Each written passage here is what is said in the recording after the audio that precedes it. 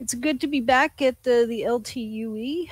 Um, I wish uh, wish it could be in person, but I'm glad to be coming to you over the interwebs, through the ether, however it is that you guys are receiving this. So, uh, my name is Toni Weisskopf. I'm the uh, publisher, editor in chief, and art director for My Sins um, of Baen Books. Um, if any of you have been to a uh, road show in person, you you'd know that uh, I encourage uh, interaction.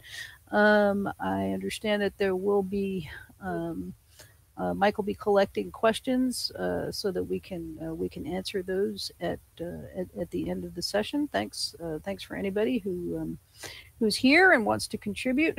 Um, we really do appreciate that. Um, also, we usually like to give out free books, so if there's any way that we can hand out free ebooks, we will figure out a way to do that. So please do ask your questions so they know who to give the free books to.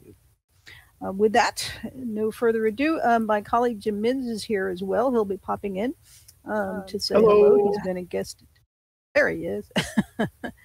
uh, he's been a guest at uh, the LTUE as well. So uh, we thank you again for your hospitality. Um, there is about a three second lag, we figure, between what it is that I am seeing on the screen and what it is that you guys are seeing. Um, so if uh, if somebody is hijacking this on another end, um, you know, let us know that too. So, um, welcome to Baen. Just to uh, just to set the tone, um, we give you an exploding spaceship.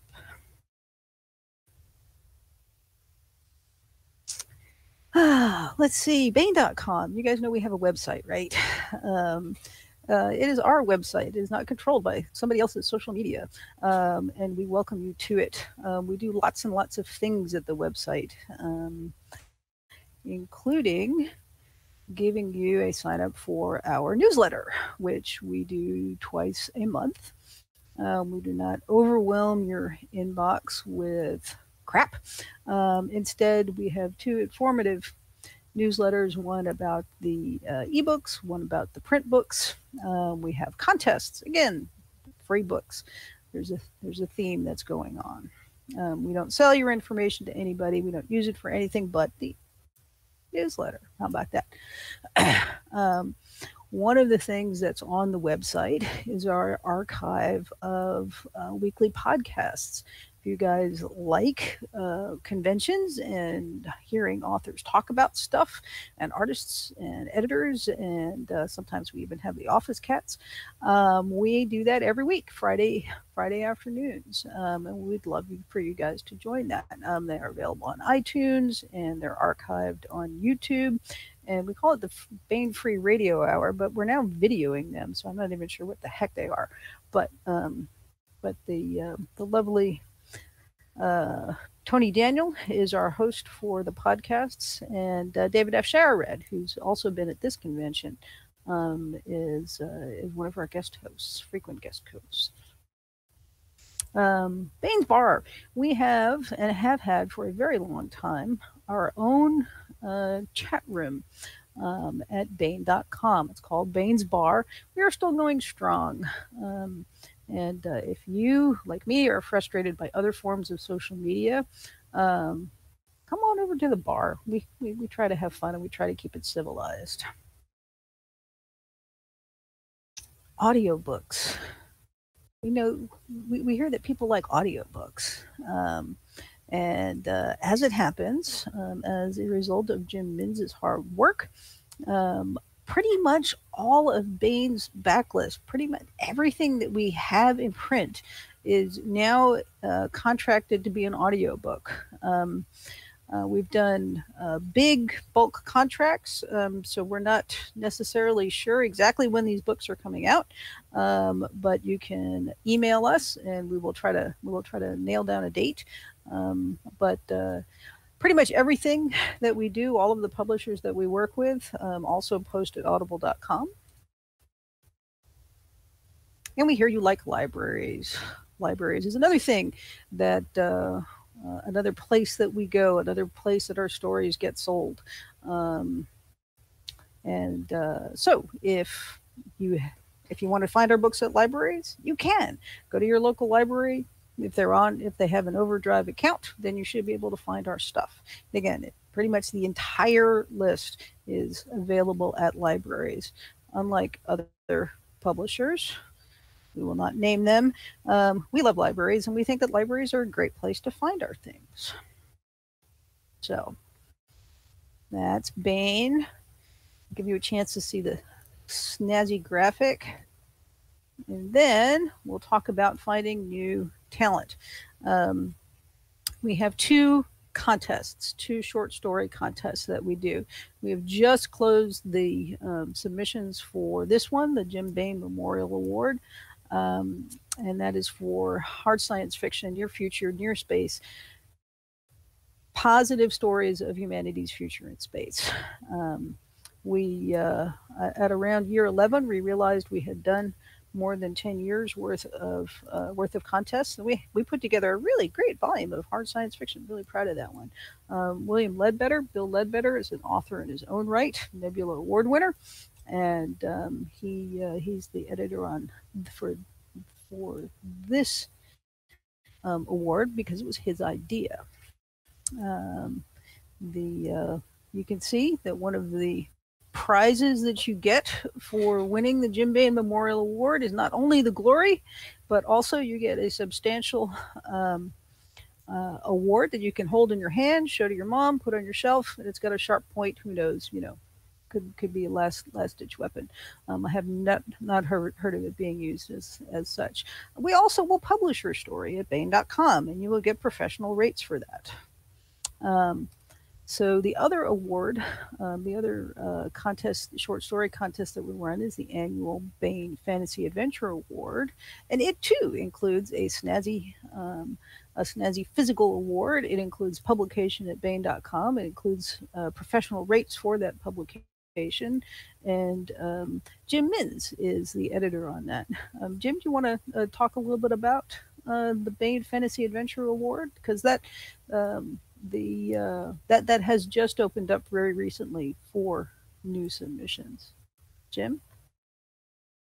Ah, okay. Well, um, hopefully my internet will will hold up. Um, it was a little dodgy earlier tonight, so hopefully uh, we'll, we'll, we'll have one or the other of us. But at any rate, Jim is the uh, is the initial editor um, for this one, and we should tell you that the the way that we do this is that the the the judging is blind, which is to say we don't know who's written what story.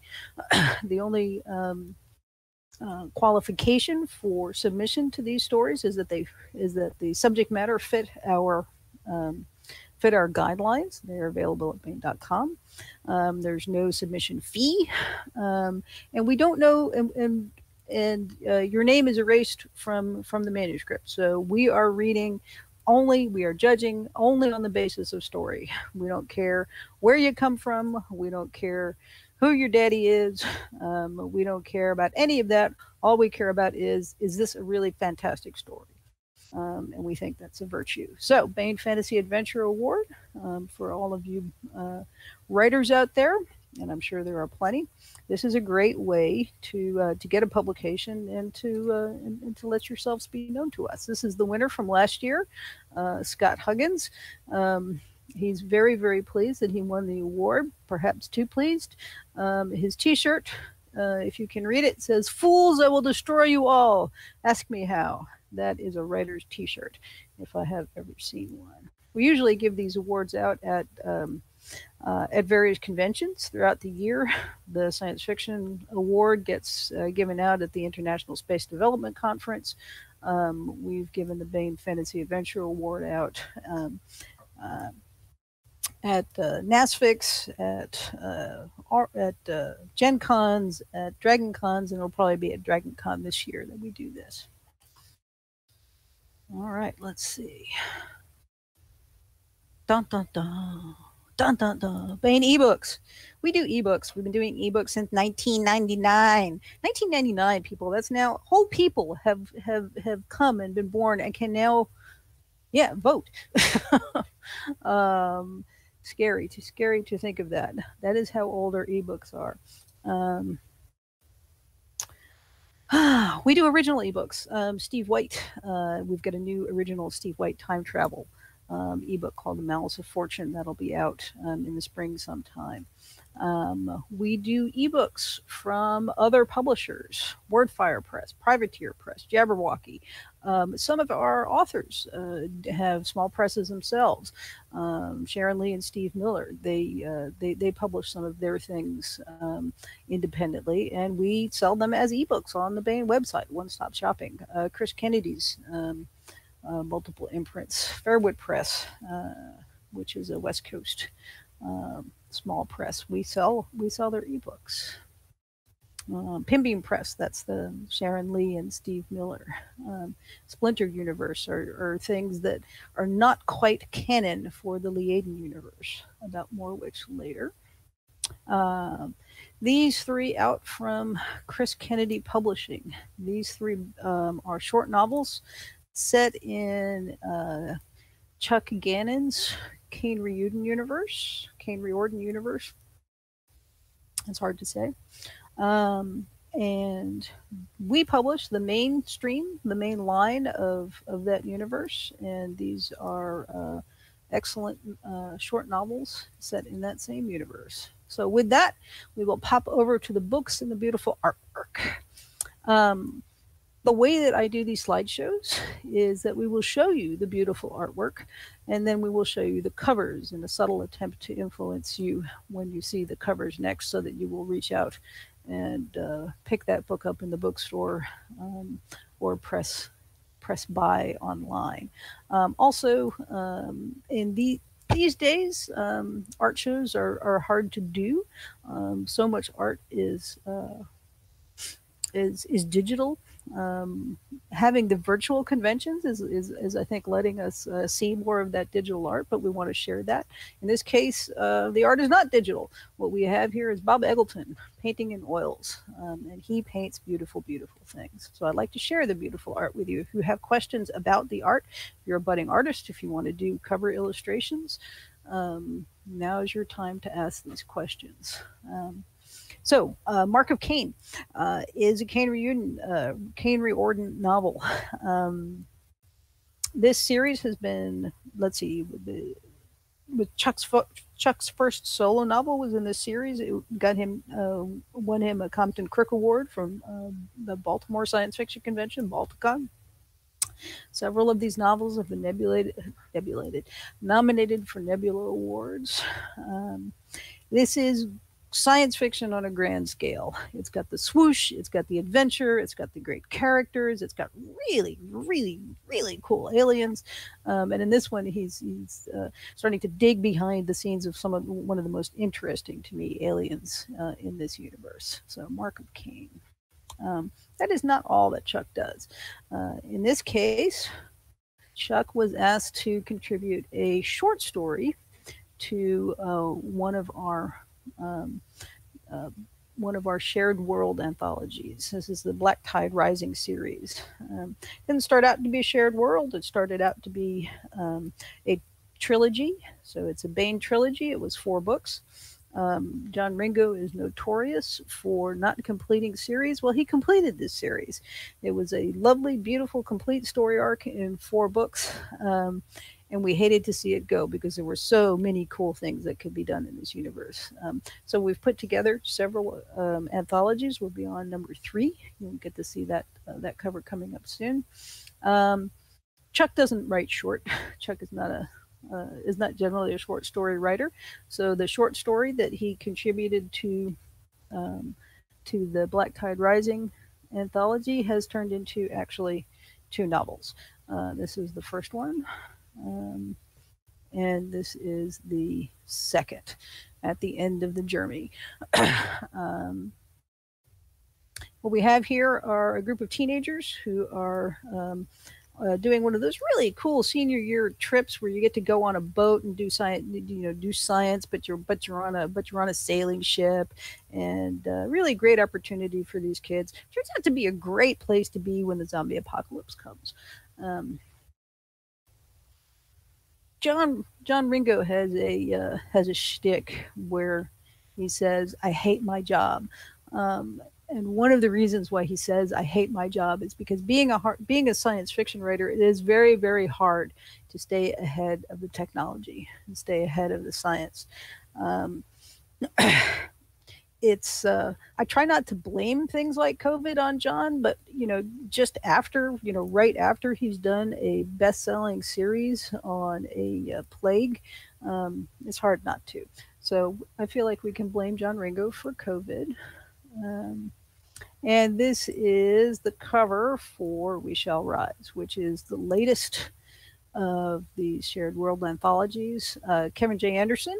Um, a semi-local to Utah, is uh, uh, is our uh, headliner here. But we've got wonderful stories by uh, Mike Williamson and Jody Lynn Nye. Mike Massa is a uh, former SEAL officer, Brendan DuBois, who is a New York Times bestseller in his own right in mysteries. He's written um, several novels with James Patterson.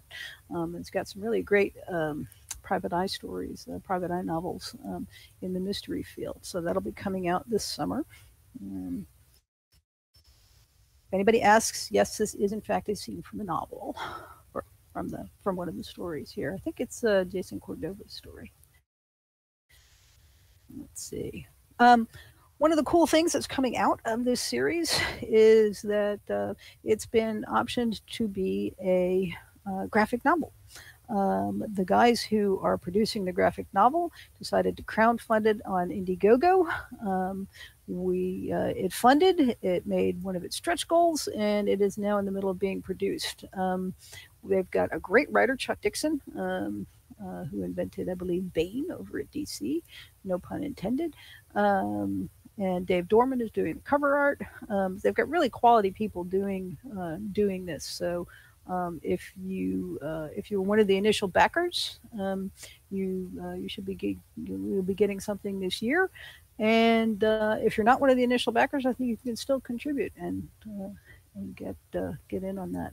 Um, that is not all that Chuck does.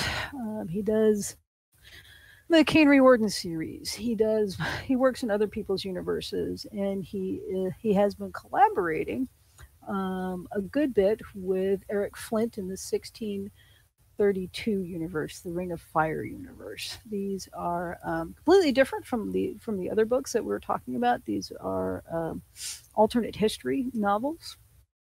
Um, it's very difficult to, to illustrate um, alternate history to, to make it look like your book is set um, back in times of old, but still have that um, that something that says this is not the way that it actually was back then.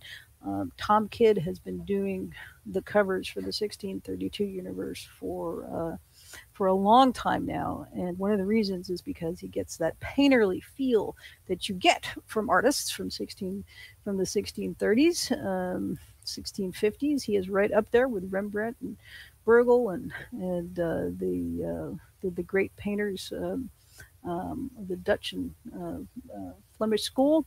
Um, but you know he also knows his Grateful Dead. So um, and he's got uh, he manages to get those little those little just cool indications that this isn't this is not the history that you were taught in school. Um, let's see. Uh, this one, uh, the instead of collaborating with Eric Flint, he's collaborating with another um, 1632 Ring of Fire author, Robert Waters, and they are taking the gang from Grantville, and um, they are they are fighting the war for. Um, for the new world, they are taking, they are trying to rewrite history, and uh, in some ways they are succeeding, and in other ways they are not. So this is another thing completely different that the that Chuck Gannon is doing. This is a book um, of a genre that we call big fat fantasy. You guys know what big fat fantasies are. Um, they are George Martin. Uh, they are J.R.R. Tolkien. They are big, epic, huge quests, um, large in scope, large in page count. And uh, Chuck Gannon was probably born to do these. So uh, David Weber is a big fan of Chuck Gannon. Um, this is going to be Chuck's first um, first step into the fantasy world, and and we hope you will like it. Um, I am particularly fond of this dragon. I hope you will like it too. Um, let me let me know in your comments what you guys think about this. So this one will be coming out in November. Um, so that was our um, Chuck Gannon um, segment. And then we'll be wrapping it up. No, I'm kidding. Um, we do publish other authors. And uh, we are talking about Lee and Miller earlier on.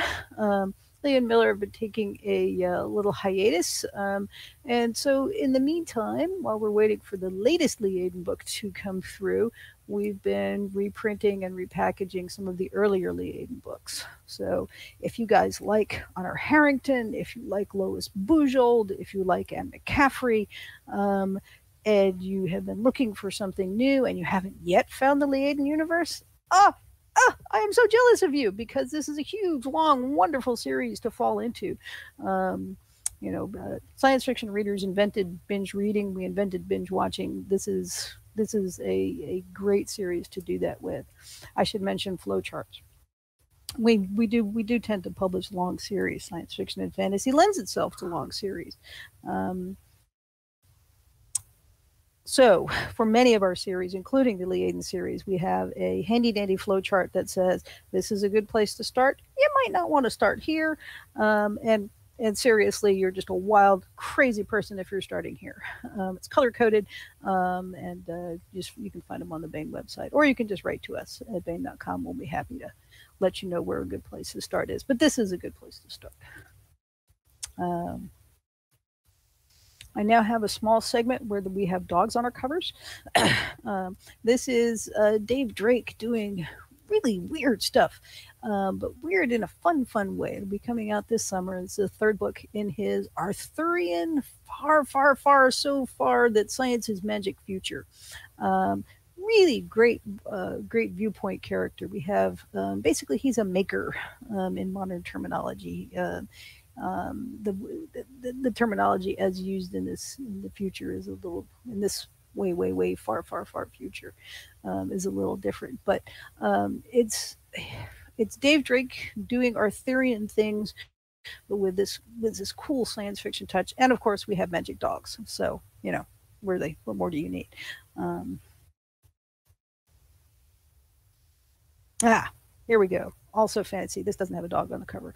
Um, least I hope that's not a dog. Um, it does have absolutely beautiful swords in it, though. Uh, I will say that these swords are modeled off of swords that I actually own, but my swords are not that ornate and not that cool. Uh, Destroyer of Worlds, big fat fantasy again. Um, this one came out in September of 2020. I hope you didn't miss it. Um, if you if you have, don't tell Larry. He will be devastated to hear this. Um, you can make up your uh, your loss by going out and getting it right now. Um, Destroyer of Worlds, third third book in the saga of the Forgotten Warrior. I have to say that this too started out as a trilogy. It's a Baen trilogy. It'll probably be five books. Not my fault. Um, for historical reasons, we uh, we have been commissioning not just one but two beautiful pieces of art for uh, for this series, and this is what the back cover looks like. Uh, one of the reasons why we have this art is because Kurt Miller the artist loves the series and he loves illustrating it. Um, look at all the different weapons we have here. Oh boy, there's maces, and warhammers, and spears. And Kurt is taking the time to actually make all of these things look um, look like they actually should look, which is to say, functional and they could kill you. Um, as an art director, that's important to me. Ah, let's see. The next project that we have from Larry Correia is Gunrunner. Now, this is something that I know he's been talking about at LTUEs. Um, this book started out as uh, as a panel discussion um, where Larry and John and a couple of other people, I think, were on a panel, not at LTUE, but another convention, um, and people were just throwing out ideas and um, uh, and uh, one of the one of the ideas, one of the core ideas, started coming from uh, Larry's young son. And all of these things, what would be cool? What would be really, really cool? Well, you know, huge, horrible monsters and uh, space pirates and uh, and space um, uh, spaceships and evil um, evil planets. All of this got put into this novel because they realized this is going to be a really good novel, and they were absolutely right. Um, here we don't have the I don't have the, the the final art for you, but I but I wanted to show you sort of uh, one of the preliminary steps before we get final art. Um, this was about I think the third probably around the third round of sketches where we narrowed it down to this particular sketch and I just wanted to I wanted to show the reader the scale, how big that flipping monster is. Um, so you get the little little bitty tiny man. Um, makes for great great art. Much trickier on a cover. So this is how we ended up doing it on the cover. So it's a very different treatment from just using the uh, using the art but that's okay. It's that kind of a book, um, and we also get the we, we get the we get the the, the sense of scale, but we also get um, the uh, the sense of action. I think better in this in the way that we did this cover. This is just out, just came out in January. Um, I don't know if Larry knows this or not yet because we just found out yesterday. But this is a national bestseller. So thank you guys for buying this, and uh, keep on doing that. So, what is Larry working on next? Larry's first book was called Monster Hunter International. This one Monster Hunter Bloodlines. Um, I uh, usually um, we will have a finished book that we hand off to the series artist Alan Pollack, and he will pick out the coolest monster in the book, and that's what he will put on the cover, and that works for us really, really well. Um, but in this case, um, we we didn't quite have a finished novel yet, and uh, uh, so Alan asked if he could create a monster, um, and uh, and Larry, being the kind of guy that he is, enjoying a challenge, said, "Sure, go for it." And this is what Alan came up with. So um, Larry had a great time figuring out how she's going to fit into the book, um, and uh, I think uh, it's going to be a great, uh, great read in August for everybody. Um, Monster Hunter Bloodlines. Yeah, she just looks evil. I love that. All right. What do we have next? Oh, while we are waiting for Monster Hunter Bloodlines to come out, I have a new urban fantasy uh, for you guys. This is a debut novel. Um, I want to just concentrate on the art a little bit. Um, this is a self portrait by the artist Todd Lockwood. Um, and everything that is pictured in this uh, magic users uh, room here is something that is in Todd Lockwood's possession. So um, the giant squid, the dragon, the Buddhas, the monkeys, um, the crappy little laptop.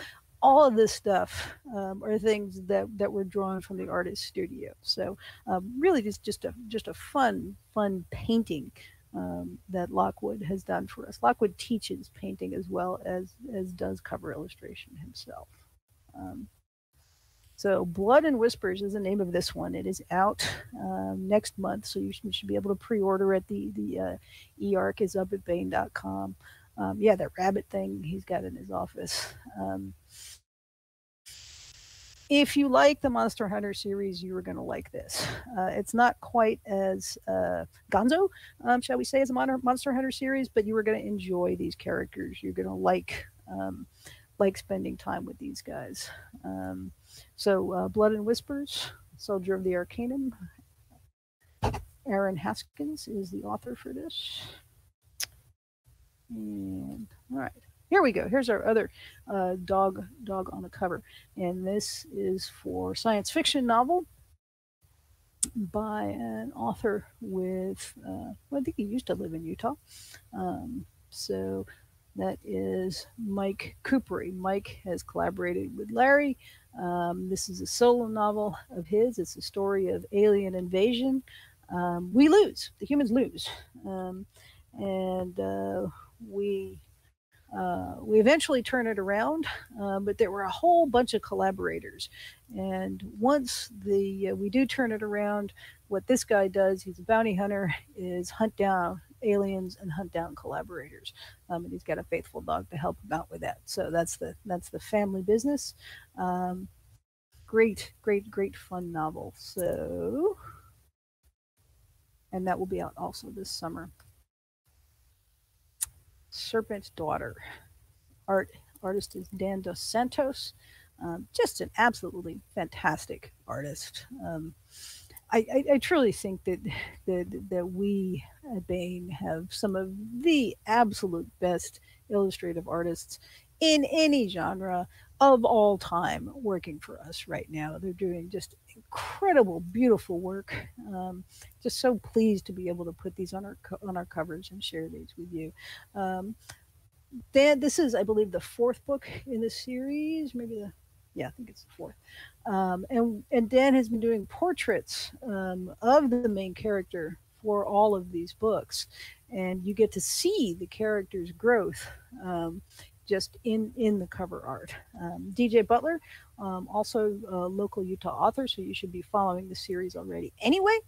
Uh, but Witchy Eye is just absolutely fantastic. It's alternate fantasy, so it's a story of um, an America that never knew a United States. um, it's also an America where there are lots and lots and lots of different magic systems, and uh, Butler absolutely just delves into the research. Um, uh, makes makes these different magic systems and different cultures just come alive. Um, and he uh, he he writes music for them. Um, there's a companion cd for this where dave is singing songs from all of the different cultures that he has um, in the books. But mostly these are just grand big adventures um, with with a lovely compelling um, uh, central character. So let's see what is up next in the Palace of Shadow and Joy. This is something completely different, also by the same author, DJ Dave Butler. Um, if you guys like Jack Vance, if you guys like Fafhrd and the Grey Mouser from Fritz Leiber, then if you guys like buddy adventures you're gonna like in the palace of shadow and joy. These are very silly. Um, don bates has just done you know just done a beautiful job of, of capturing these these characters and they are characters. Oh my god are they characters. Uh, but they're also at the end of the novel they become good friends. Um, they don't start out that way necessarily. Um, and everybody but everybody is out to get them. And it's hard to see you know that they you know they really do deserve it. Um, in the Palace of Shadow and Joy. Great, fun, planet adventure, wonderful, wonderful feeling, um, cool, funky things. Cat, please do not get me off of the internet. Thank you. Um, let's see. Same author, completely different as you will see, we like to we like to let our authors do what they do. So we try not to box them in too much. Um, in this case, we have the Cunning Man. Um, it's this is Dave Butler writing with a friend of his, Aaron Michael Ritchie, another um, great author in his own right.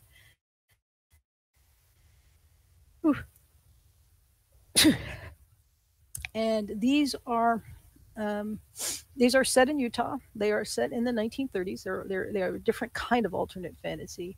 Um, they are detective stories in a way. Um, they are buddy stories where we have a cunning man who is a beet farmer and, uh, and a member of the Church of Latter day Saints. And he, uh, with his son, who is, um, I believe, portrayed in this one, the, the sequel to uh, The Cunning Man um, is the Jupiter knife. he uh, they they solve supernatural mysteries. Um, so uh, Larry Correia has has got the uh, uh, the elevator pitch for this one. It's like Jim Butcher crossed with Grapes of Wrath. There you go. What more do you need? Uh, well, we have absolutely beautiful covers by Dan Dos Santos again. So. Ah, there's another genre that we do at Baen, and that is military science fiction.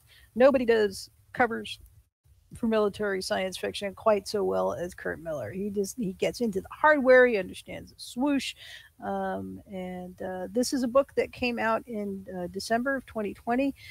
You know, I feel like 2020 was such a it was easy to miss the fun things in 2020. So I, I, am going back and showing some some of the books that we published in 2020, not just showing you the books that are coming up because because I don't want you to miss out on the the great stuff that came out then. Um, Mike Williamson opened up his Freehold universe to other writers. Larry Correia's got a story in here. Brad Torgersen, another Utah author's got a story in here. Mike Massa.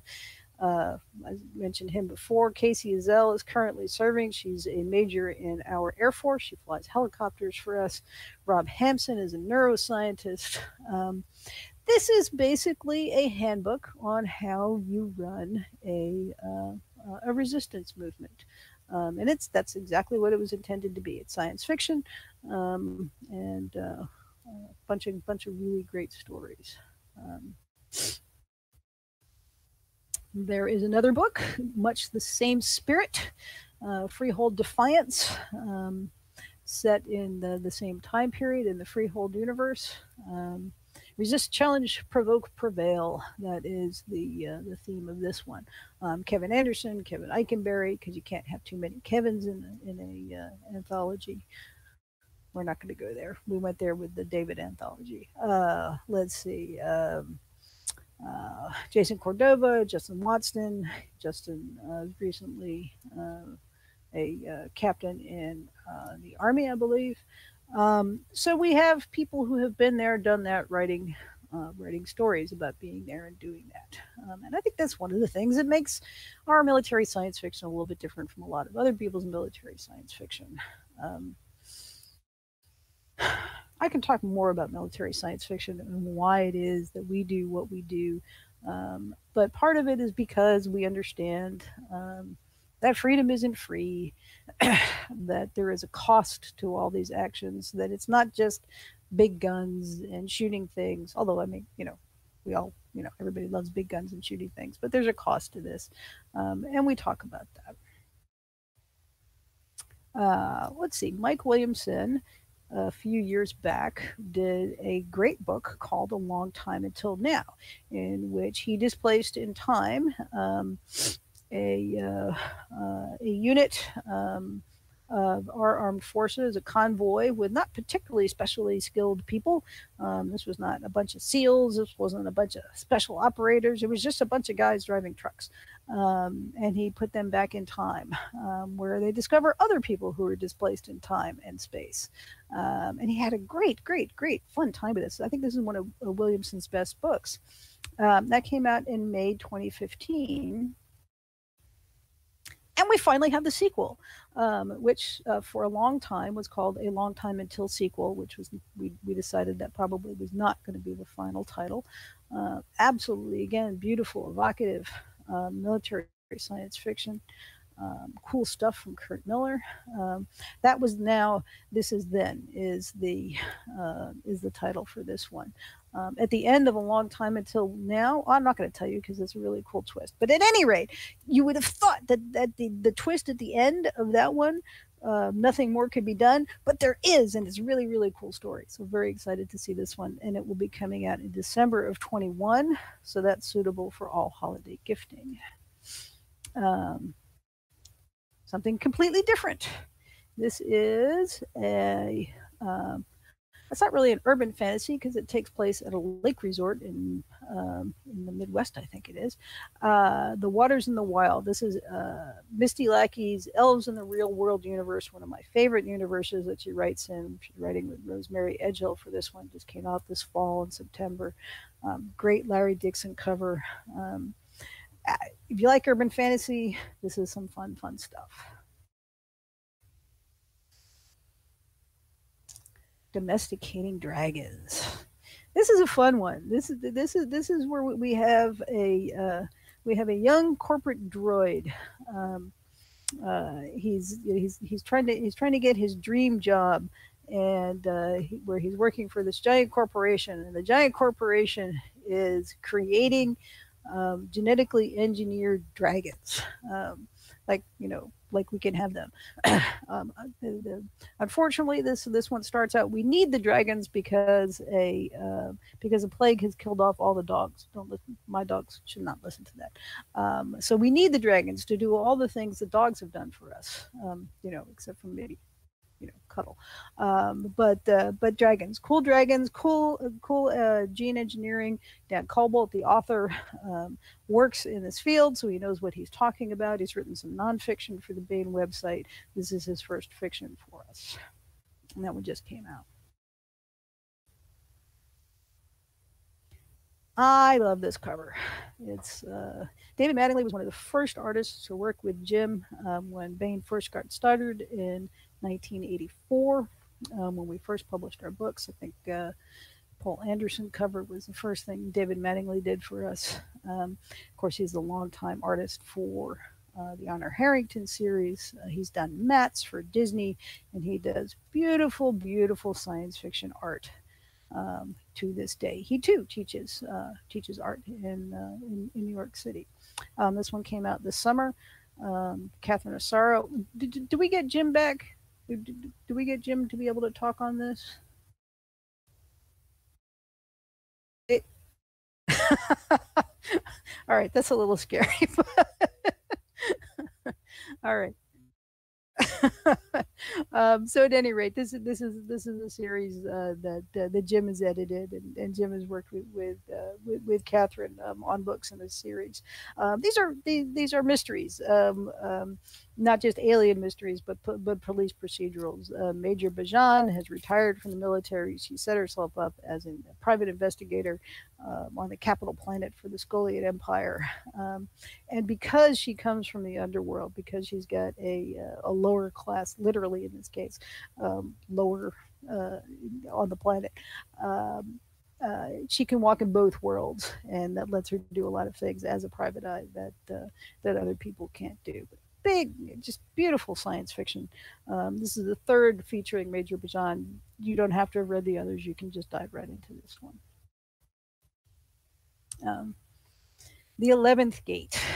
Uh, again, just absolutely fun, fun science fiction. Um, you know, science fiction is supposed to be fun. Uh, Lee and Miller have got that in their bio. Science fiction is supposed to be fun. Yes, it is. Uh, Nancy Kress is not a prolific author. She writes maybe one book every three or four years. Um, we're lucky enough to be able to publish this latest one. This is um, a far future where we have space travel. Um, one of the reasons why we have space travel is because we have these 10 gates that we ran across. The 10 gates let, let us go from from uh, planet to planet to planet, all of which are conveniently useful for humans. Um, and we have a very stable society where um, some of the planets are run by uh, this one family, and some of the planets are run by this other family, and everything is lovely and stable until they find the 11th gate. And then Nancy screws everything up. She gets to talk about different forms of government. She gets to talk about um, uh, gender dynamics. She gets to talk about space travel. She gets to talk about alien artifacts. This is the kind of thing that science fiction is supposed to be. So if you missed it in May, please do pick it up. Um, this one is also uh, uh, just absolutely pure quill hard science fiction. I will say too that this scene is an actual scene in the book that they're, um, and I think actually in the book the girls are naked. I did make the uh, uh did make the artist put clothes on them. Uh, Rich Man's Sky. Um, when this was written about uh, 18 months, 24 months ago, um, I thought of this as a uh, a fun um, look at a future that probably was not going to be. Um, and in this case, we have um, oligarchs controlling our access to space. There are four guys who control all of the uh, uh, all of the resources that are necessary to get out to space, and um, it looks like the future is going to be completely controlled by them. And I thought, well, you know, it's probably not going to happen that way. And now I'm thinking, damn, Will, really? Seriously? Um, but at any rate, this is a great, great piece of hard science fiction, um, perhaps more predictive than we would have hoped. And um, uh, the the impetus behind the the uh, behind the scene is that it turns out that the nation states uh, of Earth are not necessarily pleased to be um, subject to the whims of four billionaires. Um, so they send up spies, and uh, these are the spies, some of the spies that they send up. So uh, Rich Man's Sky coming out in April. I believe the uh, ARC is available at Baen.com right now. Um, if anybody's not not familiar with the term ARC or EARC, um, this ARC stands for Advanced Reader Copy. Um, e is, of course, electronic. Um, and these are, back in the day, um, we uh, publishers would put together early versions of their books, send it out to um, influential bookstores and book reviewers. And uh, uh, the people at Baen, uh, Baen's Bar said, "Hey, we're influential too. Why don't you, you know, why don't you give us copies of these books?" And Jim said, "Well, this is very expensive for us to, you know, to produce these things." Um, they're basically just books and you know we have to you know print them on paper and and and and so you know much as i love you guys i can't afford to do that for all of you. And they said to jim we'll pay for them. And jim said huh i will sell them to you. And the uh, the earc was born. Um, so the earcs are early versions of the books. They're not necessarily edited. They're not necessarily the final versions but if you absolutely have to get the latest Larry uh, Correia or the latest Larry Niven or the latest um, Tim Powers or the latest uh, what have you, um, we will be happy to sell it to you. Um, and that's what the EARCs are. Um, Going Interstellar is not a new book, it's actually an old book. Um, but it did so very nicely that we're putting it into a trade paperback with the with a new package. We kept the beautiful artwork from Sam Kennedy. Um, just we're, we're, this is my this is my hard science fiction section um, um, of the uh, of the presentation. Um, we do hard science fiction. Going Interstellar is super duper hard science fiction. It's fact and fiction. So we have great um, science fiction stories by Michael Bishop, by Ben Bova, by Mike Resnick before he died, Sarah Hoyt, um, and we also have. Uh, fact articles on different me methods of interstellar propulsion. So each of the stories takes a different me method of interstellar propulsion. And uh, so we've got the fact, we've got the fiction that builds on it, and you get that kind of interaction between the science and scientists and uh, science fiction writers and the readers uh, and the artists that I think makes our genre absolutely unique. Um, so Going Interstellar will be a trade paperback in that same vein, um, not edited by uh, Les Johnson, but uh, but edited by Rob Hampson. He's a, a, working neuroscientist, and his sister Sandra Medlock, who is an English teacher, uh, with an introduction by our uh, Larry Correia.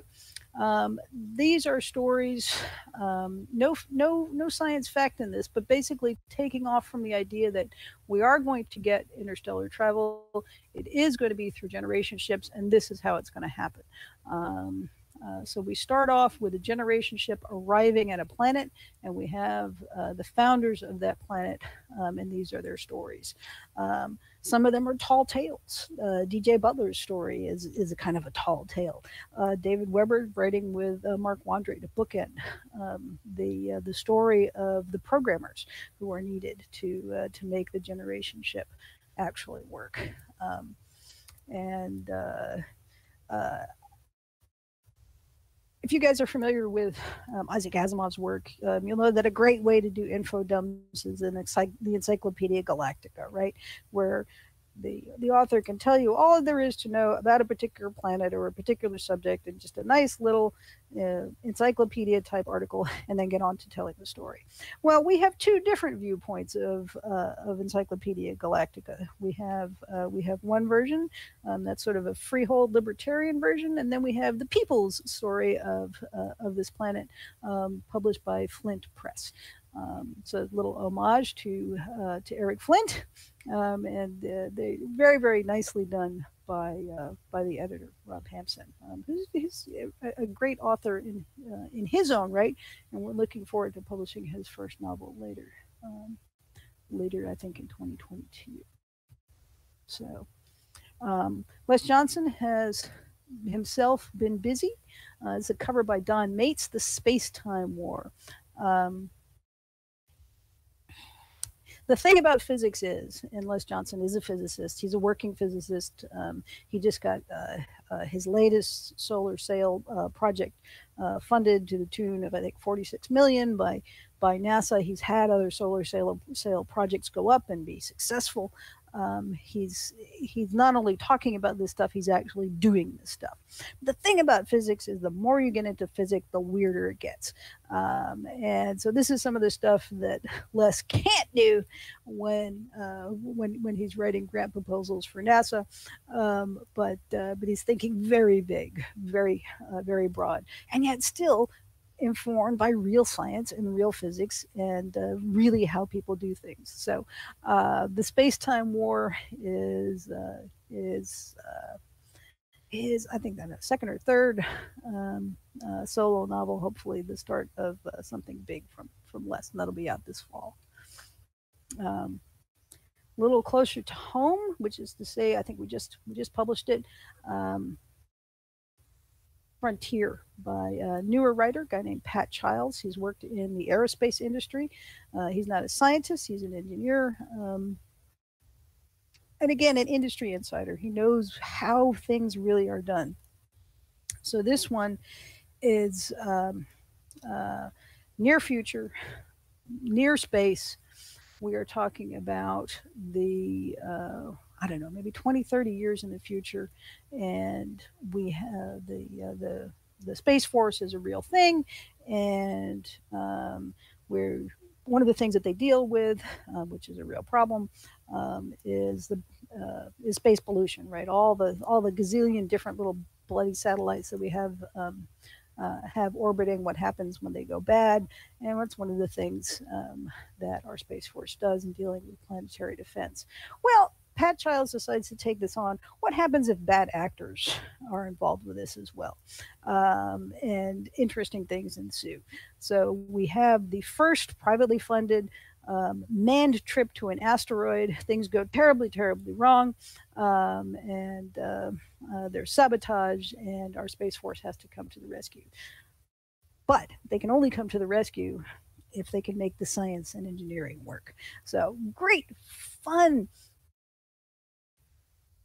ab, you know, absolutely informed with, with modern sensibility, but still with that same great feeling that you had of classic uh, science fiction um, back when the world was young. Um, more hard science fiction, but also military science fiction. This one too, like Gunrunner, started out as a um, uh, as a discussion on a panel at a convention. Um, this one was LibertyCon in Chattanooga a few years back. Um, Travis Taylor uh, took the idea of uh, what would what what would war on the moon really be like, and he ran with it. Um, he and Tim Zahn um, uh, put together this great team, um, and what we have here is a braided novel. Um, I think this is one of the best books that we published in 2020. So so so much fun. It does not have a dog on the cover, but there is a dog on the moon. So just you know, just so that you know, this is you know, for you dog lovers. This this is a must-have for you. Um, absolutely a great book. Um, yeah, uh, Travis. Travis is doing a lot of stuff. He's keeping busy. Um, he's uh, he's one of our rock star TV show uh, uh TV show stars. Um, he's got a, a show that had uh, a great uh, debut season, The Secret of Skinwalker Ranch. Um, he uh, he had the absolute best, uh, well, I won't say best, but um, one of the most convincing reasons for why my novel is late when he called us up and said, Well, I'm out of the hospital now, but I had radiation poisoning. Oh, goody. Yay. Ah, I'm glad he led with him out of the hospital now. It wasn't terribly severe, but he did get it while filming The Secret of Skinwalker Ranch. So, this is a plug. Uh, if you want to hear more about that, um, then watch the TV show on the History Channel. So, um, this is what his next science fiction project is. Um, pause for water. and that is Saving Proxima. Travis Taylor and Les Johnson, they both live in Huntsville, Alabama. Um, they are both uh, working in the space industry there. Travis is an engineer. We call him Doc Travis because he's got, I think, I don't know, four or five different degrees at, at this point. Um, hard science fiction, near future, near space, great um, driving plot. Um, really, uh, yeah, yeah, this is real science fiction. That's that's what Jim Baen called hard science fiction, real science fiction. Beautiful, beautiful, beautiful, evocative cover from Dave Seeley. Uh, let's see. All right, Space Time War. We liked it so much. I put it in twice. I'm going to skip over that one. And we will go to something completely different, although it has also a really cool um, spaceships. And that is the Valkyrie Protocol. Um, David Weber, you know from the Honor Harrington series. If you don't know him from the Honor Harrington series, again, oh my God, lucky you! You have a huge, new, fantastic series that you can dive into. Um, the, there are rules to the Honorverse. You know David Weber's writing. You know that he is very, very focused on keep on playing fair with the readers. I'm playing that the readers understand the rules of the universe. So much so that one of our uh, FAQs on Baen.com is an explanation for why why there's an incontinuity in um, in one of uh, David's uh, uh ship capabilities. He takes it really really seriously. All the stuff that he doesn't allow himself to do in the Honorverse is in this series, uh, the Gordian Protocol series. He's writing with an up and coming writer guy named Jacob Holo. Um, and uh, it's got time travel it's got uh, paradoxes it's got space wonky spaceships um, valkyrie protocol i'm particularly uh, excited about because it has samuel pepys as an action hero which you know from pepys diary of uh, again plague years and you know I, I don't know why our authors are writing um, two years ahead of time uh, uh, of COVID about plagues. I, I really, I don't, I don't, think I want to investigate that one too much. Um, we'll let the History Channel worry about that, you know, a few years from now. But at any rate, um, Valkyrie Protocol, big swooshy, swooshy, swooshy stuff, save the universe kind of things. Really neat, really fun. Um, we do have to mention Stoddard because Honor is just awesome. We love Honor Harrington. Um, this book was a Dragon Award winner. It was a New York Times bestseller, um, and it wound up Honor Harrington's um, story arc, her character arc. Took a lot of books to do that, um, but it did not wind up the Honorverse. It did not wind up the secret of the slavers, and so taking that story and moving it forward is what's happening in the next book in the Honorverse. Um, I just want to, I wanted to share with you, this is going to be a wraparound cover. The original working title for this book um, was The Face of Evil. And when we gave this assignment to David Mattingly, that was what it was called, The Face of Evil. And he did this fantastic Face of Evil for the back cover. But none of us thought that that was going to be a really good selling title. So they ended, they, in, in the end, it's the, the title is To End in Fire, which is actually a great title. But we have this fantastic face of evil on the back cover. And I'm just keeping it because, you know, it's a really great face of evil. And now you guys know why it's there.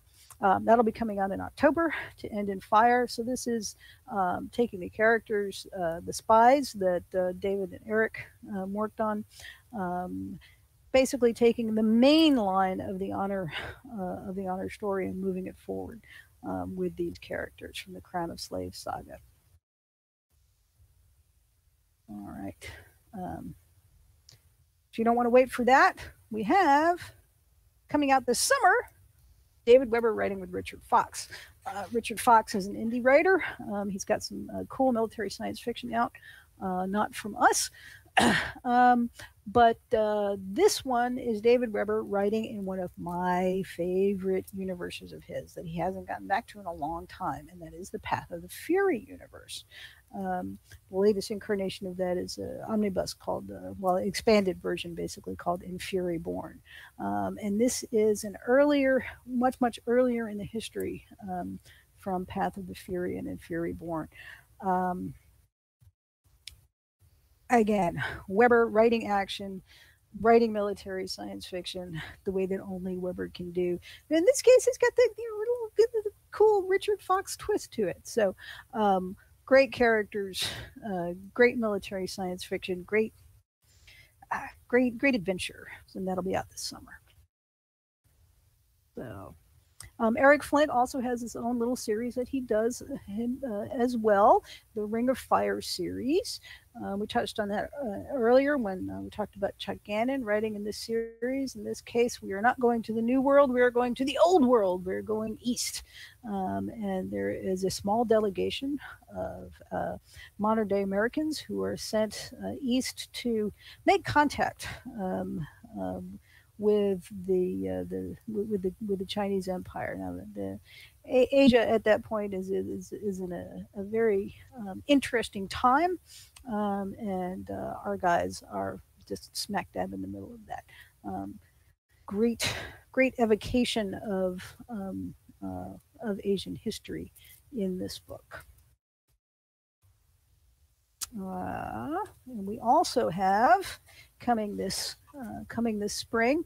Um, Eric Flint writing with Griff Barber, the secret, um, uh, the sequel to um, uh, their uh, their first book set in the, the Mughal Empire. Um, we are going to uh, we are going back to India um, and that region, and again our our stalwart guys from Grantville uh, run into trouble. Um, so.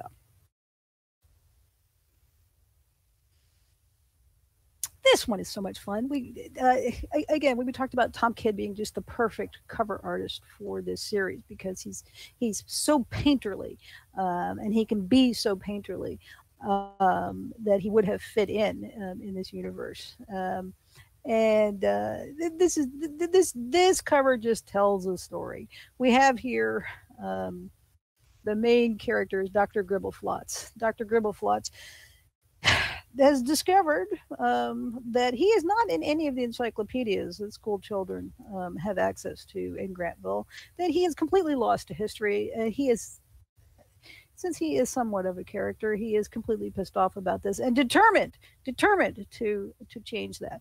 Um, so uh, um, he gets himself into trouble because he's an obnoxious guy. He's just he's just obnoxious. So um, Rick Boatright, Kerryn Offord, are uh, writing together on a character that uh, Rick Boat- Boatright created. More of the 1632 universe. In this case, we have a, a more symbolic cover where we have Mike Stearns, um, who has, um, in some ways, become an emperor from being a, a labor boss. Um, and uh, I think the reason why this is a more symbolic cover is because Tom Kidd really, really needed to do a dragon. Um, but I'm good with that. So, um, all different kinds of evils and sins uh, that are besetting Mike Stearns as he deals with the coast of chaos. What we have here is a short novel by Eric Flint, uh, Paula Goodlett, and Gorg Huff, um, who have written uh, many stories um, and worked with Eric before on novels in the universe, um, and uh, some some other stories to flesh out the flesh out the volume that are related to the coast of chaos. So something completely different. Um, any gamers out there? I know Jim Jim Minz is raising his hand. Um, anybody remember the Traveller the Traveller game? Well, the Traveller universe, uh, Marc Miller was instrumental in creating uh, creating the Traveller uh, role playing game. Um, Marc was the second person inducted into the Gaming Hall of Fame after Gary Gygax, and deservedly so. Well, he's written a novel set in the Traveller universe, and it is so much fun. Um, you do not have to have played the game to enjoy the novel. It's just a wonderful, cool work of science fiction where we have um, uh, an agent of the Imperium who dies. That's that's how the novel starts, and uh, he is downloaded um, and recreated every time that there is a hideous, horrible problem that somebody has to solve uh, in the Imperium. And we see this over and over and over again how he evolves, how he changes through his experiences, and how he affects the Imperium. Um, in one of its incarnations, it was a Dragon Award finalist. Um, we talked about the Dragon Award before, I'll mention it now. Uh, you do not have to be a member of DragonCon to um, nominate uh, works. They um, uh, they recognize uh, various different categories of novels. They recognize games and TV shows and movies. Um, and you do not have to be a member of DragonCon to vote. All you have to do is register. So I encourage um, anybody who is interested in uh, in this kind of science fiction and fantasy um, to to to go over to the Dragon Con website and register and, and let them know what you like. Ah, the Godel operation. This one is fun. Um, the main character uh, of this book is not the handsome dude. It's not the hot chick. It's actually the little bug droid on the guy's shoulder. Um, he's the narrator. Uh, he's the one who is uh, uh, whose eyes we see this uh, this future. Um, and uh, it's another work of um, semi near future. I mean, it, it, it, it's set in the solar system, maybe a few hundred years from now. Um, and uh, it's a solar system that we have completely populated. There's billions of life forms, humans, um, AIs, all different kinds uh, of, of beings. And uh, James Cambias uh, takes us on a tour of this. Um, there's a great mystery. Uh, if you like the Maltese Falcon, you will enjoy this. Um, it uh, we tried to get that just big scope across in the artwork, just how much fun and how cool the future is going to be. All right, this is not a cool future. This is this is really really bad, terrible, horrible future. Um, aliens have invaded. um, they have uh, uh, they have terribly oppressed um, humanity, and then because of one drunken Russian on a very cold outer planet um, saying exactly the wrong thing, they they have gone away. They have given us a hundred years to get ourselves ready to fight them and um, the first novel was uh, in, in the series was uh, was telling that story how we started to prepare to fight the aliens. Um, one of the uh, one of the things that we have to do is deal with the Chinese who have uh, we had just finished a war with the Chinese and they um, um, they have devastated a lot of the world but we but we defeated them um, and we have come back. Now the question is will we be able to unite to fight the aliens and that's sort of what this second book is about. We have two siblings. We have a, uh, a girl and her half brother, um, who uh, who are the progeny of the hero from the first book. Um, he was a Burmese conscript soldier for the Chinese, came over to live in America, and uh, raise his children in peace. And was not able to do that because war has come to us. So, um, a neat neat, weird, weird um, alien invasion story, human invasion story, um, told by uh, the very talented T.C. McCarthy that is already out. speaking of really cool stuff, speaking of military science fiction, last year we published uh, The Best of Jerry Pournelle. Um, Jerry uh, was one of the seminal uh, creators of military science fiction. Um, when you think military science fiction, the first three names have got to be Jerry Pournelle, Dave Drake, and Jim Baen. Um, and uh, we lost Jerry a couple of years ago. Um, and at Baen, we've been very lucky to have um, the, the, the last few books that that he created. Uh, his long time um, uh, editor, uh, John Carr, put together this volume for us, and it was a national bestseller. You guys uh, really, really went out and supported it. Um, so was this one, Starborn and Godsons. Um, that came out in April um, this year, just when all the bookstores were closing down.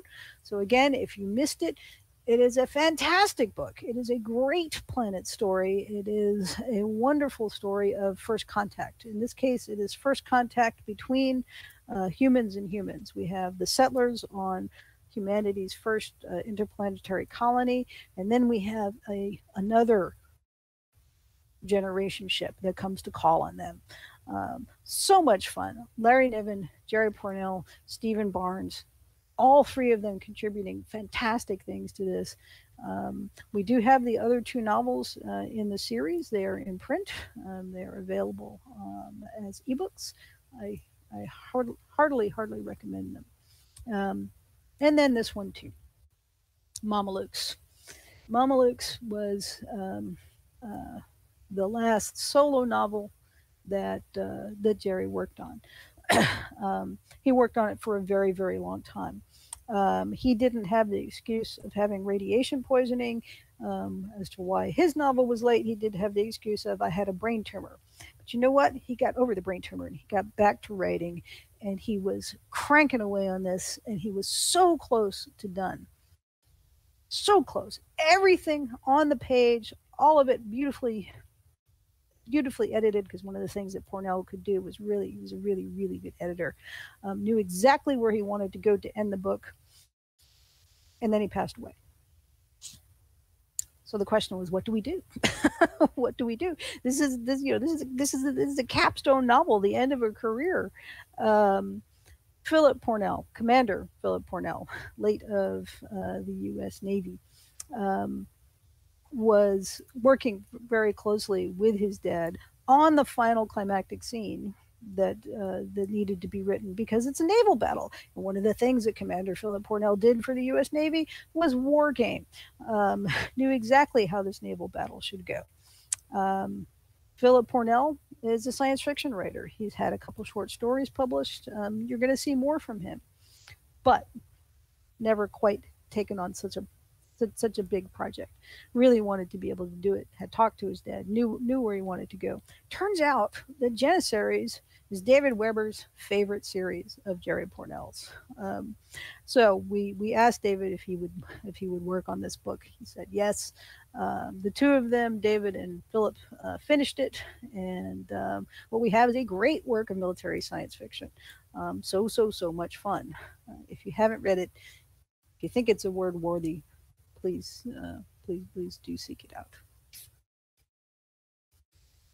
Ah, let's see. Uh, this is another alternate history. Um, it's called The Romanov Rescue Rescue the Past in Order to Save the Future. Um, it is uh, it's all the adventure stories of the turn of the last century, um, spies and daring do, and, and the Scarlet Pimpernel, and all, all, all, I mean, that, that goes a little bit farther back, but um, it's got zeppelins, it's got uh, it, has got the it's, it's got the Russian nobility. You know what? It doesn't have communism. It doesn't have any communism in it. Yay, the communists! This is a, this is an alternate history where there is no communism. So happy. Um, very pleased to see this. Uh, Tom Kratman is working with uh, several of his proteges. The first novel he wrote with Monalisa Foster, and there'll be others coming out um, in the next uh, in the next few seasons. So, big, beautiful, swishy zeppelin from uh, Dominic Harman here.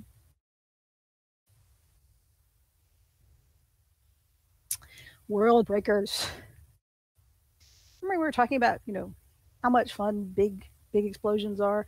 This is about that.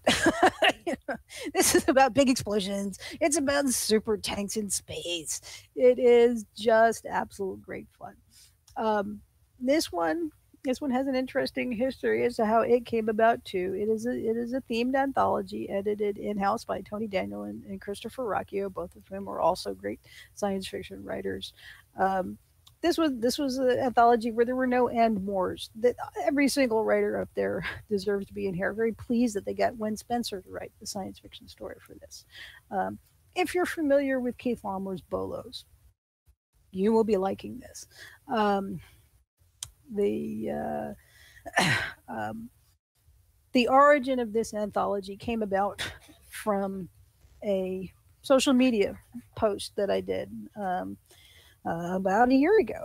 And uh, in it, I included one of my favorite quotes uh, from Jim Baen, where he talks about um, it's a, a quote from uh, an editorial letter that he sent to Keith Laumer uh, when Keith had asked him, "Hey, what do you want me to write next?" Um, and basically, Jim said, "I want you to write Bolos next." But he did it in a beautiful, evocative, wonderful way. And um, some of the some of the people on social media just uh, just ran with it and said, "Oh my God, we would love to follow that advice and write those stories."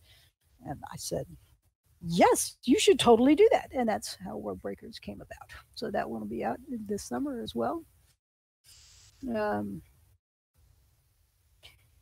did we say science fiction is supposed to be fun? Science fiction is supposed to be fun. Um, David Boop, uh, who is another Western editor, has edited. He edited a series of three anthologies of weird westerns for us. When he asked me, you know, should we do some more weird westerns? I said, you know what? I love the weird westerns, but let's take the westerns to space. And that's exactly what he did.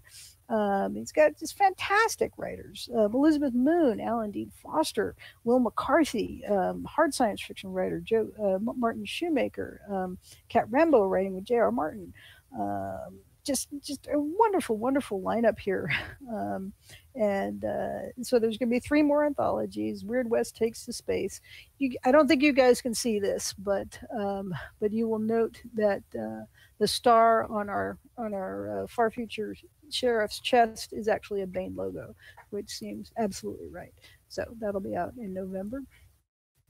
Um, here is another um, anthology of uh, short stories, theme anthology. Again, we try not to make it too tricky for you. Sword and Planet, because if you can have swords and you can have planets, why shouldn't you have both? Um, Simon Green has got story, uh, T.C. McCarthy, Jody Nye, um, some uh, some new authors that you might not have seen uh, seen at Baen before that we'd like to introduce you to. Uh, Christopher Ruocchio is the sole editor of this one, all new, all original stories. Um, and uh, this is a new artist for us, um, uh, Kieran Yanner. Uh, but he's illustrated some of Ruocchio's uh, books for another publisher that shall not be mentioned. Um, his solo novels are published elsewhere.